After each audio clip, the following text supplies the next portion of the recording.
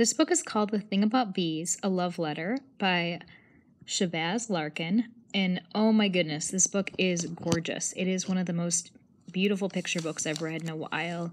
It's about it's um a rhyming book. The art's beautiful, and it's about um uh bees and how they might be scary, but they do all these great things for us.